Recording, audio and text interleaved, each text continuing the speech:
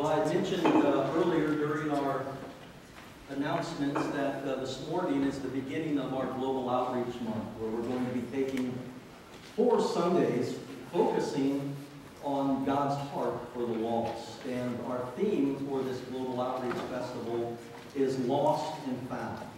And each Sunday we will be focusing on parables of the lost.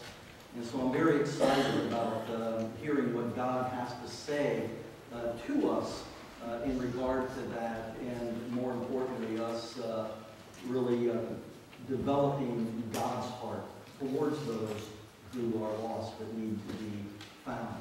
And this morning, uh, we are kicking off our Global Outreach Month, and we're kicking off our uh, Redwood Coast School of Missions. And this, this, morning, I have asked uh, Pastor Brad Abley to come and share with us. Uh, Brad and I uh, have known each other for about 15 years. Brad was with us last year. Uh, he also opened up for us last year with both the uh, Global Outreach Festival and the uh, uh, Redwood Coast School of Missions. Uh, we pastored together at a large church in Campbell, San Jose area. His office was right across from, from mine. He could hear me snoring. I could hear him snoring. And, uh, but we had a wonderful time of uh, partnering together in ministry. Brad has a very uh, rich history in ministry-related things. He has served as a senior pastor, as a teaching pastor. He has uh, gone on numerous uh, short-term missions trips throughout his uh, time of, of, service. And I'm just honored to have him with us. And so let's just honor our brother and welcome him to Arcata First.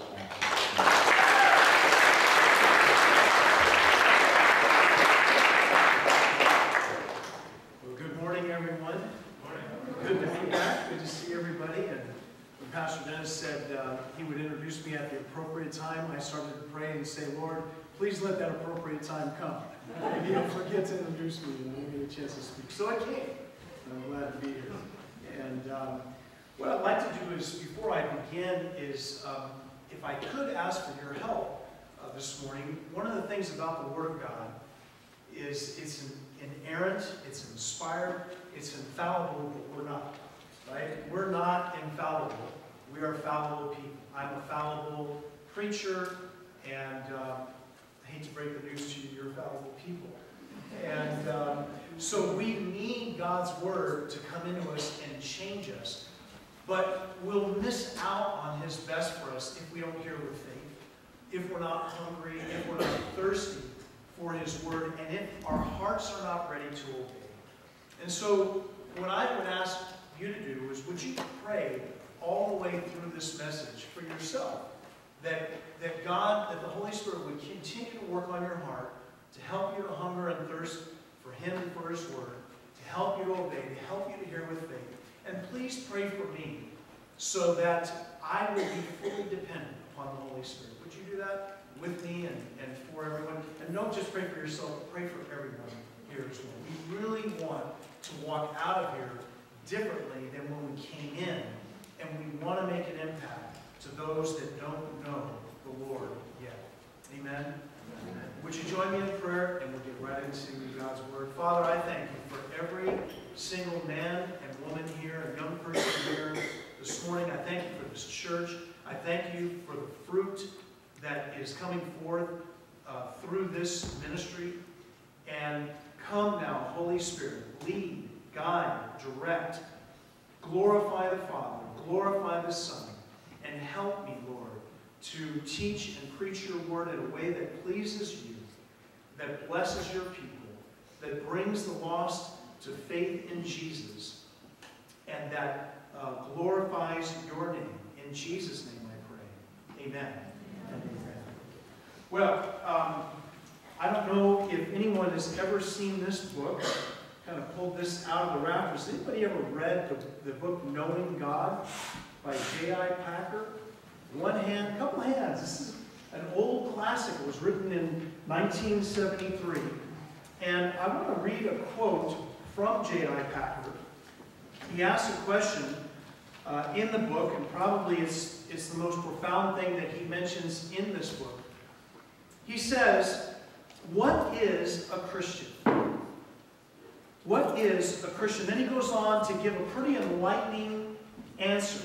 And here's what he says. He writes, The question can be answered in many ways, and we know that, I think.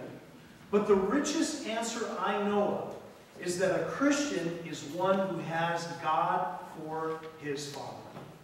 A Christian is one who has God for his Father. He says, You sum up the entire New Testament the entire New Testament teaching in a single phrase if you speak of it as the revelation of the fatherhood of the Holy Creator. He goes on and he says, if you want to judge how well a person understands Christianity or understands his faith, find out how much he makes of the thought of being God's child and having God for his father. If this is not the thought that prompts and controls his worship and prayers and his whole outlook on life, it means that he doesn't understand Christianity very well at all. For everything that Jesus taught, everything that makes the New Testament new and better than the Old, everything that is distinctively Christian, is summed up in the knowledge of the fatherhood of God, or I like to call the father heart of God. He says, Father is the Christian name for God. And so, loved ones, this morning, Packer has asked us one of the most important questions of all, hasn't he? How well do we know God as our Father? How well do you know God as your Heavenly Father? How would you answer that question? Well, my answer is that I know Him as my Heavenly Father, but not nearly as deeply as I'd like to know Him as my Heavenly Father. I feel like I know God is my Heavenly Father about this much, but compared to when I began the Christian faith 33 years ago, it's this much. And it's this much and far more. God will give me as much of His heart as I want. And He will give you as much of His heart as you want as well. Our triune God, the Father, the Son, and the Holy Spirit, wants me to understand the Father heart of God infinitely more than I do. And you know the same holds true for you as well. And so I have one goal in this message this morning. One goal. And that is to inspire us to know God our Father in a more deep way, in a deeper way. Please pray for everyone that, that everyone will respond to the prompting of the Holy Spirit to know God our Father in a deeper way. So the title of today's message is, What is a Christian? And it's one who knows God as his Father. I think in your outline, the title, uh, that part of the title is blank. What is a Christian? One who knows God as his Father.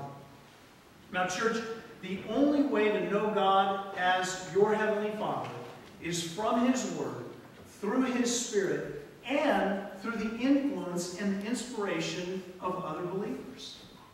I've grown in my understanding of the fatherhood of God as I watch how other believers respond to a situation or respond to a person. We're going to see that in our passage today. And we're best in the entire Bible to come to know and understand the Father heart of God. I could make an argument that it would be in the parable of the prodigal son. The parable of the prodigal son. Luke chapter 15, if you'll turn with, with me there in your Bibles, I think we'll probably have it up on the screen as well. Luke chapter 15. And the parable itself is in verses 11 through 32. But I think it's very important that we look at the overall or the broader context. And so we're going to look at verses 1 through 3 to begin with. Luke chapter 15 and verses 1 through 3. The main goal of this message is that we would come to know God as our Heavenly Father more deeply.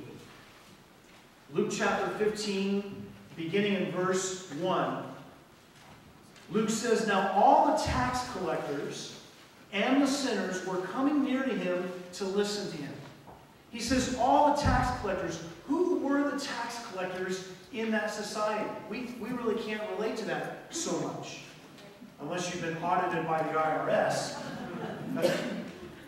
tax collectors back then were like the mob.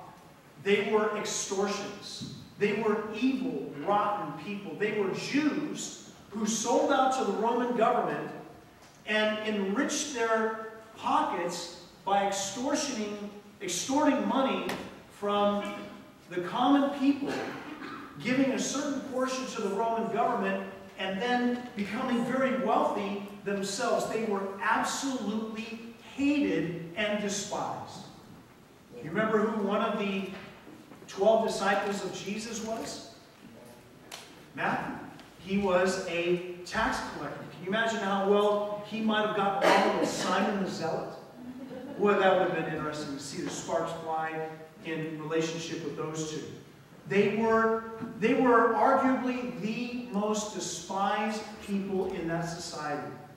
He says, now all, there's a lot of people here that are tax collectors, all the tax collectors and the sinners. These are not just your ordinary brand of sinners. These are the worst of the worst, the most despised in that society. All the tax collectors and the sinners were coming near him to listen to him. That little Greek word to listen to him means to receive news of, means to give heed to, it means to understand. It wasn't just, well, I'm going to check this guy out, see, see what he has to say. If I like it, mm, I'll, I'll take what I like and throw away what I don't like. No, there was a there was an earnest desire to hear what Jesus had to say because their lives were being changed. They weren't satisfied with who they were and where they were at. But, verse 2, both the Pharisees and the scribes, the religious leaders of Israel at the time, began to grumble, saying, This man receives sinners and eats with them. What does he mean by that? To eat with someone in the Middle East means that you accept them. They're very hospitable people. And they were aghast that, that this rabbi, so to speak, would invest time with the dregs of society. Jesus believes in global outreach, doesn't he? And so he taught a parable. Verse 3, he told them this parable, saying, now, there's actually three parts to the parable, or technically there could be three parables. So he goes on and he gives a brief parable about the lost sheep. Then the next parable is also a brief parable about the lost coin. And then we come to the parable of the lost son. Really, there are two lost sons in this parable, in this teaching. We could also title the parable The Compassionate Father or The Forgiving Father. So join me now in Luke 15, verse 11, as we get into perhaps the most famous parable of all, and that is the parable of the prodigal son. And he said, A man had two sons. The younger of them said to his father, Father, give me. This is a a command. He, this younger son is commanding the father, Father, give me the share of the estate that belongs to me. And so he divided his wealth between them. As we get to know this father a little bit more as we move into this parable, you've got to know that his heart began to break. This father's heart is breaking for his son because of the lost condition that his son is in. And because he knows that the son is headed for major pain. And yet he lets him go. Something to keep in mind. So he divided his wealth between them, verse 13, and not many days later, sure enough, the younger son gathered everything together and went on a journey into a distant country. He's going into Gentile territory. And there he squandered his estate with loose or better, reckless living. Now, when he had spent everything, Isn't it interesting? Get out of the, the protection of God, and things, bad, bad things can happen. And sure enough, a severe famine occurred in that country, and he began to be impoverished. He began to starve to death. And now he, he sinks even lower. So he went and hired himself out to one of the citizens of that country, and that citizen sent him into his fields to feed swine. What do you know about this? Pigs were unclean to Jews. This young man cannot stoop any lower. It is, it is unimaginable. He could never imagine when he set on this journey, rebelling against his father, that he would end up nearly starving to death and sink so low that he would have to feed pigs for a living. And it even gets worse, Jesus says. And he would have, verse 16, gladly filled his stomach with the pods that the swine were eating, and it still gets worse, and no one was giving him anything. I think certainly God could have moved upon someone to help him out. But sometimes when we rebel against God, He has to allow us to come to an end of ourselves before we're willing to respond to His grace, His, invi his invitation of grace. But now the Holy Spirit is working on him. And notice in verse 17, when he came to his senses, he said, How many of my father's hired men, how many of my father's hired men have more than enough bread? Notice that, more than enough bread. But I am dying here with hunger. I will get up and go to my father, and I will say to him, Father, I have sinned against heaven and in your sight. I am no longer worthy to be called your son. Make me as one of your hired men. So he got up and came to his father. Now, in the Middle East, fathers, especially at that time, were autocrats. They ruled they were in authority. They were extremely well respected. They were very uh, dignified men. Very dignified men. Very much in control. Not weak whatsoever. It's important that we understand that. So he got up and came to his father, and while he was still a long way off, his father saw him and felt compassion for him. And he ran and embraced him and kissed him. For a Middle Eastern father to, to run in that society would have been scandalous because it was undignified. For a Middle Eastern father to run, and the Greek word means to run, I mean to sprint, he would have had to pull up his robe like this. This is the most undignified I've ever been. In order to be able to run, and, and he is standing there. No one reports to him. He sees the son coming. What does that say about what he's been doing?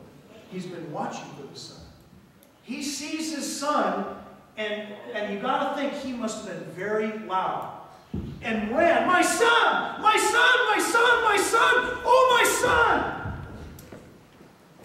I don't think the son was running to him. Because what did the son say? I will go to my father and I will say to him, I am no longer worthy to be your son. Just make me as one of your hired servants. I don't think the son was running to the father. I think the son was shocked. You know what I found in my three decades in the body of Christ and all my ministry time, even in my own life sometimes, is we Christians don't think we're worthy of the Father's love. And in order to understand the Father heart of God, we have to understand our sonship. We have to understand our sonship. You are, if you're in Christ, you are his daughter who he loves. Unconditionally. Perfectly. If you are in Christ, you are his son whom he loves. Unconditionally and perfect. Let's, let's let the Holy Spirit give us even more insight from this parable. So he, he got up, he came to his father while he was still, I'm in verse 20, while he was still a long way off. His father saw him, felt compassion for him, ran and embraced him and kissed him. And the son, who had already rehearsed what he was going to say, the son said to him, Father, I have sinned. I mean, he must have smelled. His, his clothes must have been in, in, in tatters. He was a broken young man. Father, I have sinned against heaven and in your sight. I am no longer to be, I'm no longer worthy to be called your son. And then he didn't even get a chance to finish his prepared statement. The father interrupts him and turns and says to his slaves, who must have been running after him, wondering what all the commotion was, quickly, bring out the best robe, which would have been his robe, very colorful, which signifies complete restoration. Bring out the best robe and put it on him, and put a ring on his hand, which gives him complete restoration of authority to act on the Father's behalf. This man is being raised up from the pit of hell, so to speak, into complete restoration with the Father. Why? Just because he humbled himself and repented of his sin.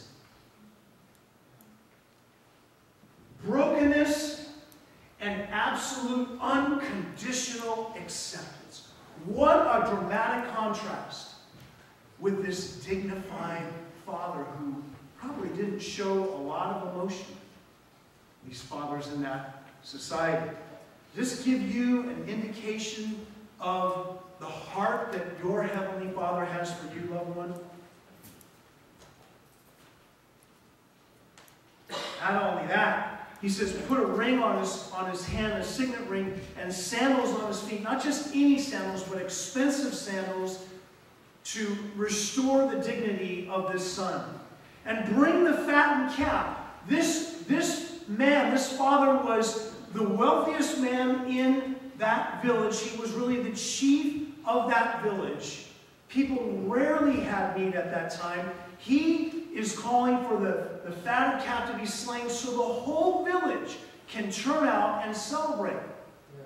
But until that time, the whole village had been talking to one another. Did you hear about this guy? Did you know what's going on? Yes, I know what's going on. An ordinary father would have been absolutely shamed over the rebellion of his son. And now, look what he does. He invites the whole village out. He says, Bring the fatted calf, kill it, and let us eat and celebrate. That Greek word is where we get our word euphoria from. This is an intense, exciting celebration, not a low key celebration. Why? Verse 24 For this son of mine was dead and has come to life again. He was lost and has been found, and they began to celebrate. But that's not the end of the parable, is it? Do you remember what the beginning of this parable was? All the tax collectors and the sinners were coming near to him to listen to him. And the Pharisees and the scribes said to one another, This man receives sinners and eats with them. Jesus, in his redemptive father heart, doesn't return the railing against them, but still reaching out to these men that absolutely hated him to the point they were planning on killing him, gives them an opportunity to come and be freed from their self-righteousness so they can come to know God is their Father, whom they thought they knew, but this parable will show us they didn't know him at all. Notice with me in verse 25 as we finish this parable. Now his older son was in the field, and when he came and approached the house, he heard music and dancing, and this was loud. And he summoned, he ordered one of the servants, and he began inquiring what these things could be. He was asking a lot of questions, but they were really demands. He said to him, out of utter astonishment, Your brother has come back. Your brother has come back, and your father has killed the fattened calf because you received him back safe and sound. Can you believe it? Expecting the older brother to go, Yes!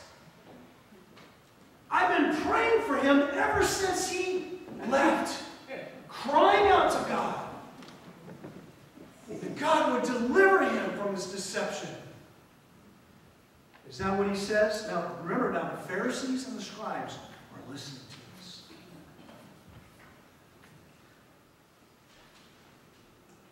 But he became angry. The word is wrathful. Verse 28. And he was not willing to go in. And here comes another shock. The father came out and began pleading with him. Fathers did not plead with their sons. Fathers did not lower themselves to the rebellion and the anger and the wrath of their sons. It just didn't happen.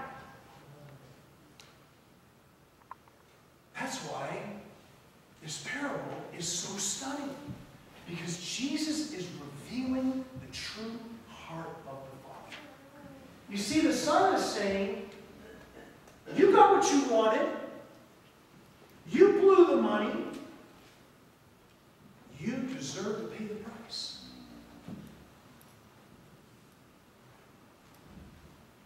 Just what he was expecting is not what happened. The father began pleading with him, verse 28. But he answered and said to him, said to his father, Look! Believe that he would speak to his father that way? For so many years I have been serving you, and I have never neglected a command of yours. Really? Never have I neglected a command of yours, and yet you have never given me a young goat so that I might celebrate with my friends. But when this son of yours came, who has devoured your wealth with prostitutes, where did he get that information from? You killed the fattened calf for him. He said to him, Son, you have always been with me, and all that is mine is yours. But we have to celebrate and rejoice for this brother of yours.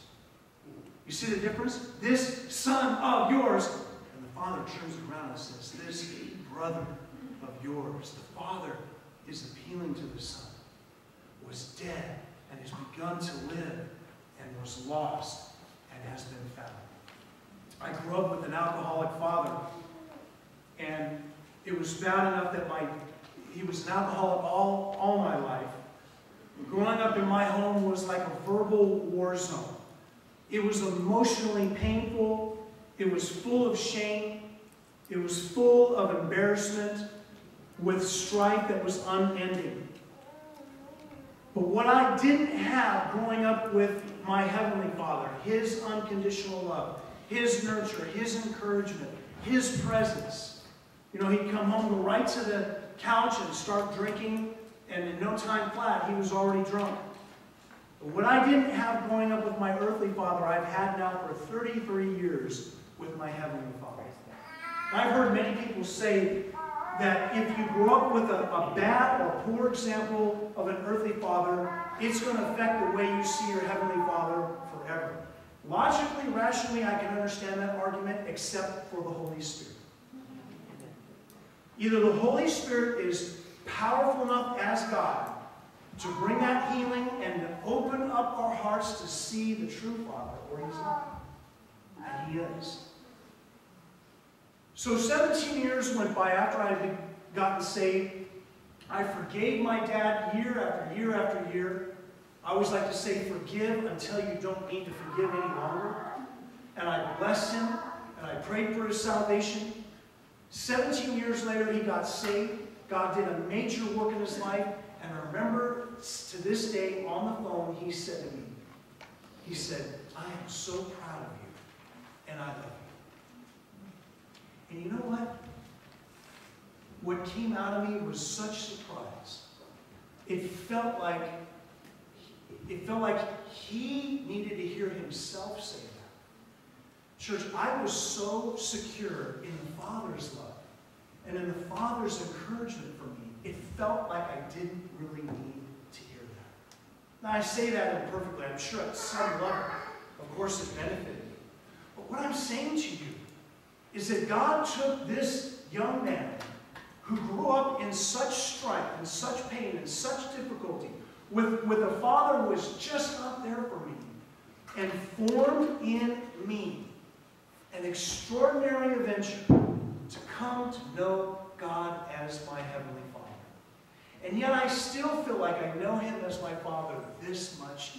But the exciting thing about my faith is I've got this much to. And I can come to know Him as deeply as my Father as I want to. But you know what?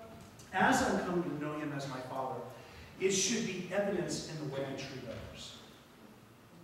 It should be evidence in the way I treat my wife when none of you around can see. It should be evidence in the way I speak about others. And it really should be evidence in how I treat the lost. Isn't that right? Because, because do the lost understand the Father heart of God? No. No. Some of them are waiting for him to take a heavenly baseball bat and, and strike away. Some of them think he doesn't care. Some of them think he's just an old, old softy, winks at sin, sure, right ahead, do whatever you want. They have a, a, a corrupted, skewed view of the Heavenly Father. So how are they going to know who He is and how wonderful He is if we're not coming to know Him as our Heavenly Father as well? You see how much at stake there is? Well, I've completely lost track of time. I want to be careful with the time. How much time do I have left, Pastor Dennis? How much do you want? Ten minutes. I'm having such a good time here, I've completely uh, forgotten about this time. There are three things that I want to point out to you. How now do we, how can you learn to go deeper in your relationship with your Heavenly Father? Number one in your outline, the first key part of the parable in knowing God more deeply as our Heavenly Father comes in the first section of the parable, and that is how we handle free will.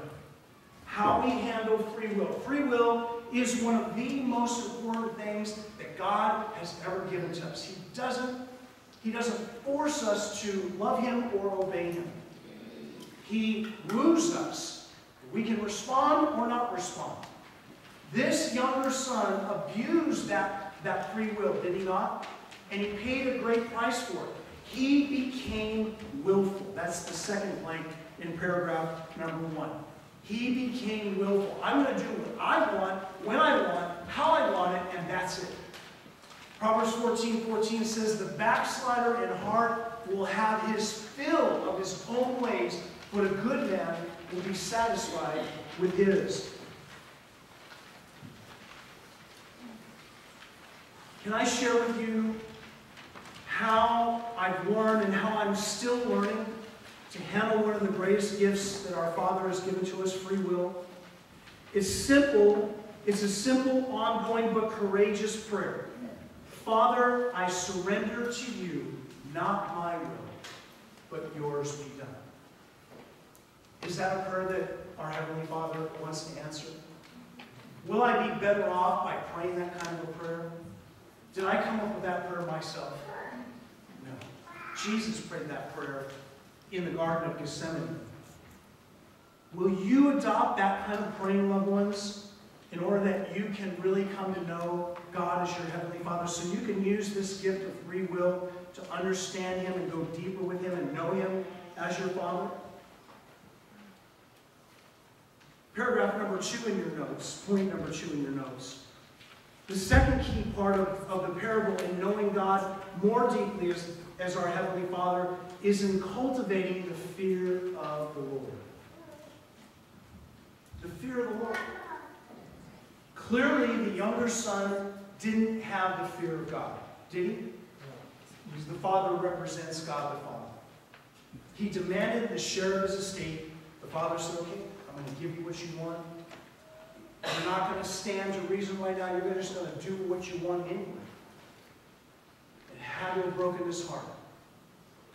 And then when he was completely broken and came back, he realized that bending his will to his Father with reverence, with respect, with awe, with honor, brought him to the highest place of all. The older son demonstrated no fear of his father, no reverence, no regard, no respect whatsoever. You know, to be honest with you, I think sometimes when we hear the parable of the prodigal son, we segment ourselves. We think, oh, I'm in that category. I'm in the category of the younger son. I, have got a rebellious heart. Oh, now most of us probably wouldn't put ourselves in the category of the older son, right? We're not self-righteous. Generally speaking, we probably aren't, but there's stuff in there, right? We're being sanctified. It's a lifelong process. I think it's a both and, not an either or. I think we fall into both areas. I think we've got rebellion in our hearts, and I think we've got self-righteousness in our hearts. I don't do that. I'm not like that. Now, we're too smart to actually say that to people outside. But inside here, that, that poison is there. Is our Heavenly Father browbeating us because we have that in there? Or is He wooing us and saying, I've got something better for you? I've got freedom for you. Freedom that makes you more like my Son than less like yourself. That's your destiny. To be conformed to His image, to be conformed to the image of His Son. How do you know if you're really fearing God? You know, the surest way to know whether we truly fear God is if we obey Him. But if we obey Him from the heart, Jesus tells us in John 14, 21, He who has my commands and obeys them, he is the one who loves me. He who loves me will be loved by my Father, and I too will love myself, love him, and I will reveal myself to him. It's the pure in heart that shall see God.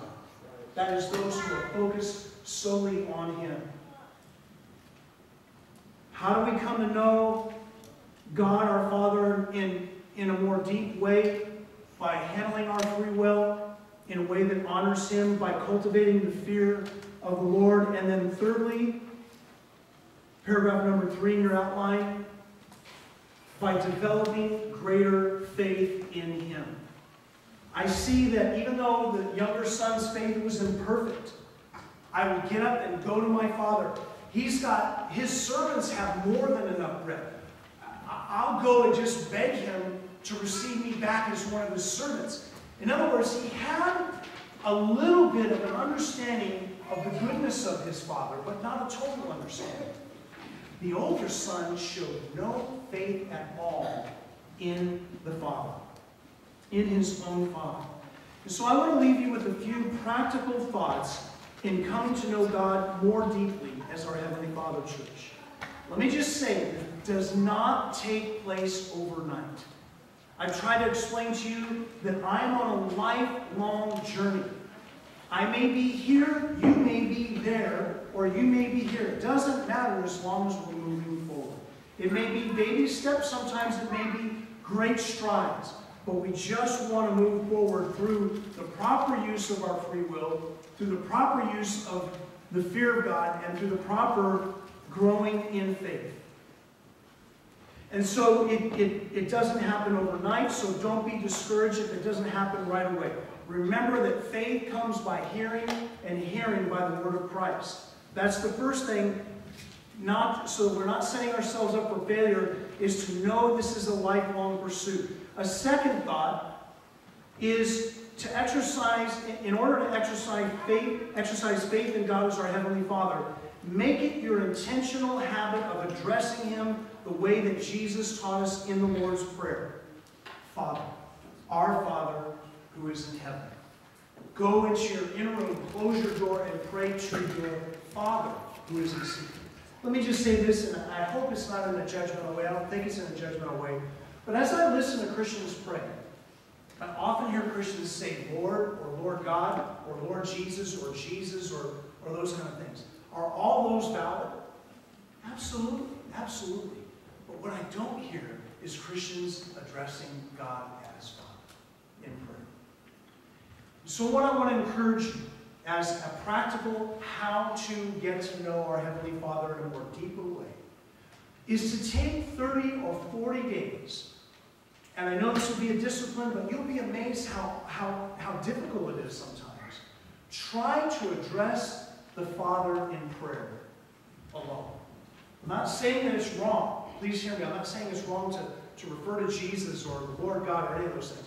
But try to discipline yourself to talk to the Father. Father, thank you for my salvation. Father, thank you that I have shoes on my feet. Father, thank you for this church. Father, thank you for my income. Father, thank you that I have eternal life. Father, thank you for your word. Father, thank you. And just thank Him for as many things as you can. Thank you for your love for me. Thank you for your grace for me. And you'll find yourself drawing nearer to your Heavenly Father and coming to know Him in a deeper way. Would you do that? But would you also do another thing? Would you pray not just for yourself, but pray for one another?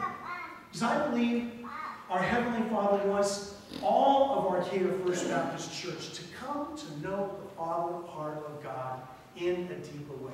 So don't just pray this for yourself, pray for everyone else. And then thirdly, the third thing to pray for is pray that in coming to know our Heavenly Father in a deeper way, we would demonstrate that by how we treat others. Just the way that this Father treated, he appealed to the self-righteous older son, he forgave the younger son who was repentant, and not only did he forgive him, he restored him and dignified him and honored him and shocked everybody and opened the eyes of everybody to who he really is. Let's treat others with the same dignity and honor and respect, Christian and non-Christian alike. And especially in this global outreach focus, the lost need to see a Christian who knows her Father. They need to see a Christian who knows his Heavenly Father and responds in the opposite spirit. Amen? Is that true? And that's, I think, what, you know, there's so many, we could, I mean, we could Pastor Dennis could preach on the parable of the prodigal son for three months. And, and still we wouldn't get into all the depth of it. But church, take this on. Pray for one another. Encourage one another so that you all can come to know your Heavenly Father more deeply. I'll ask the elders and the prayer team to come forward now. And if you need prayer, it's a good thing the message is done because my voice is gone. Uh, if you need prayer, if it's, if it's to confess your sins, maybe it's rebellion, maybe it's self-righteousness, maybe it's hidden sin, maybe it's secret sin, and you want to come back to, to the Father. If it's to know God as your Father more deeply, you just want prayer for that. If it's to know who you are as His daughter, as His son, maybe you come and you pray for that as well. But the biggest prayer of all is if you don't know Jesus as your Lord and Savior, I want to give you an opportunity to receive Him right now. Do you know all that you need to do is ask, just like this younger son asked? God, I've not lived my life for you, but I want to live for you now. I want to surrender my sin. I need your forgiveness. I'm going to stop running from you. I'm going to stop trying to live my life my own way. If you don't know Jesus as your Lord and Savior, you're not here by mistake. You're here by divine appointment. And I want to pray a prayer with you. It's a brief prayer. It's a simple prayer. What a safe place to receive Jesus as your Lord and Savior among people who love you and who are praying for you right now. If you've never asked Jesus to be your Lord and Savior, or you want to rededicate your life to Him, would you pray this prayer with me? Lord Jesus, I have never asked you to be my Lord and Savior, or I'm not sure about my salvation. Lord, I give my life to you. Take my life, Lord Jesus. I surrender it to you. Use my life for your glory. And if you have fallen away from the Lord and you want to come back to Him, would you pray this prayer? Lord Jesus, I have strayed away from you, but I need to come back to you now. And so here I am, Lord. I surrender myself to you. Thank you, Lord, for your blood and your forgiveness, so that I might really come to know you, Heavenly Father, as my Father. And if you prayed that prayer right now, while every head is bowed and every eye is closed, I don't want to embarrass you. Um, if you just raise your hand, and by raising your hand, you're saying, Yes, Pastor God, I prayed um, with the Lord right now, uh, and I just want to acknowledge that to the Lord to, to solidify the decision I made. Would you raise your hand just for a moment? Just raise your hand up high. Thank you. I see two hands in the back so far. Um, anybody up, up in the balcony? The Bible says there is more joy in heaven over one sinner who repents than over 99 righteous. God bless you. Please come forward and let someone know the, the decision that you made. I'll turn it over to the worship team. Thank you very much. God bless you.